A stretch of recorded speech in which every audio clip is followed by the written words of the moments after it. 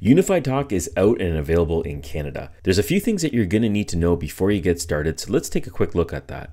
The first thing is going to be price. The price is going to be $12.99 Canadian, and this is going to be per number per month. You can select an area code and a local number that's been validated as spam free. Emergency calling is available because it supports E911. The total amount of monthly minutes is going to be 3,000 per number, and they also have the SMS feature available, and you can send 50 SMS messages per month. Number porting is not currently available. I did attempt to do this anyways, but it failed. Uh, so that hopefully will be available down the road. I have a few numbers I want to port over. Now to get started, you want to make sure that you have early access enabled on your account. You're going to want to install UniFi Talk application version 1.210 or later. This is available right now in the early access channel, so you want to make sure you have that feature enabled. You're going to want to have a compatible UniFi host, which is going to be one of the consoles such as the Dream Machine Pro, Dream Machine SE, and a Cloud Key Gen 2 Plus can also be used if you don't have a UniFi gateway. PoE switches are recommended to use with your UniFi Talk devices.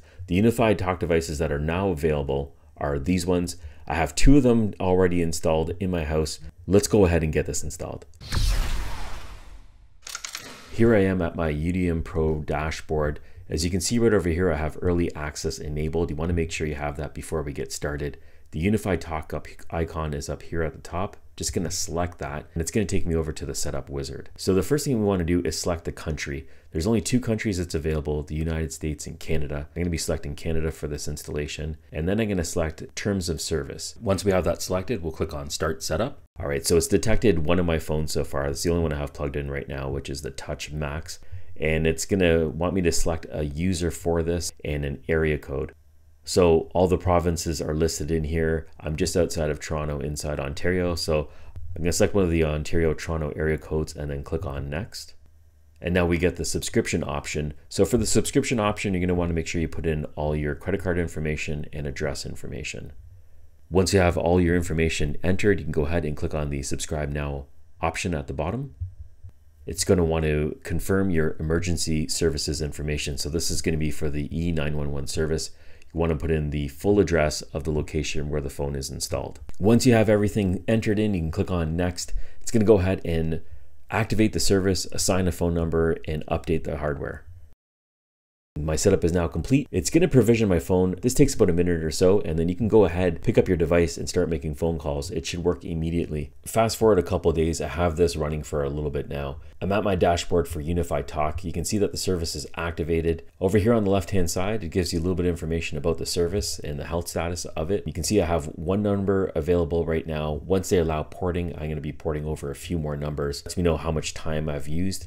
Call minutes, this is the beginning of the month, so this has all been refreshed. SMS usage. Over here on the left-hand side, we can go to assignments. I only have one phone connected. I'll be setting up my second one shortly. And then over here on the left-hand side, you can have engagement, and this is where you can set up a smart attendant. And then the next option is gonna be system log, and then it just shows all your incoming and outgoing phone calls, um, as well as text messages. I haven't tested out the text messages, but I will be doing that soon. Then you have critical messages over here, devices, telephony, and then billing information. I just have one subscription. And then you also have the settings. In the settings section, we have numbers and subscription.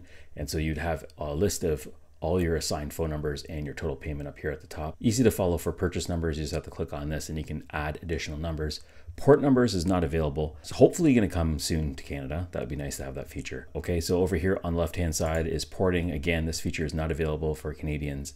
Uh, if we go down to the next feature right now, it's call settings. So now you have the call settings for audio file settings, the ring back, the hold music, etc. And then you have additional settings down here, call park, and then some call blocking rules. Next, we have the voicemail settings. You have your global voicemail settings where you can enable this or you can enable instructions and then you also have the timeout option over here. And then you have global contacts. I don't have anything in here, but I could upload a CSV file or I can add contacts manually. Then we have emergency calling. This is the service address. If you're moving, you can just edit this to update that address. And then you have notifications over here. I think this is kind of cool. Uh, you have the option to use Microsoft Teams, Slack, or you can get email. And then inside system, and then you have your system settings over here And if you had a third party SIP provider, you'd be able to add it within here. And that's pretty much it. That's just the basic overview of UniFi Talk. So I hope you found this video useful. If you did, please smash that like button. If there's features that you're interested in, just let me know and I can go through that as well. Thank you for watching and I'll catch you in the next one.